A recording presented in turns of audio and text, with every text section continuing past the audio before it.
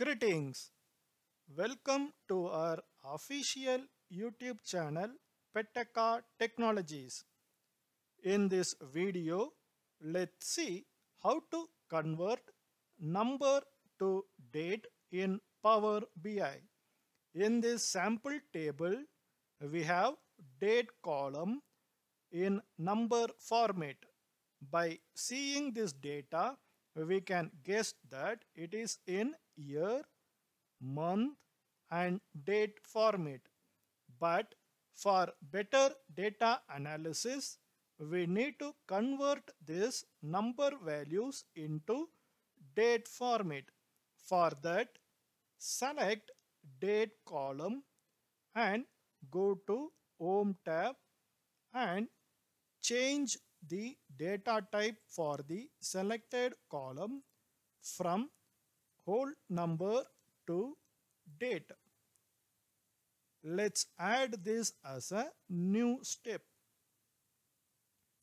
Oh, we got error because of this data type conversion. To avoid this error, what we can do is instead of converting number to date directly, first we convert this number to text format.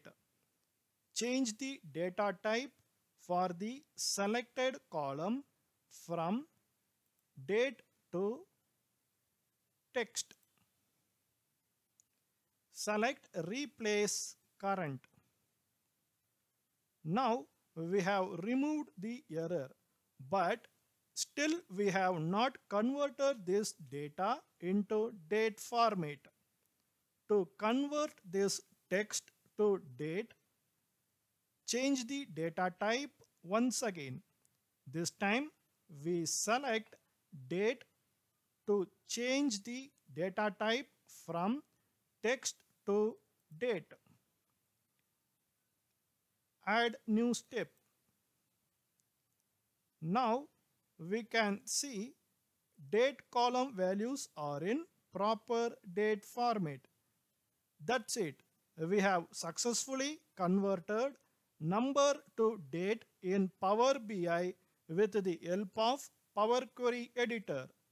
If this video helpful to you, like this video and share this video with others.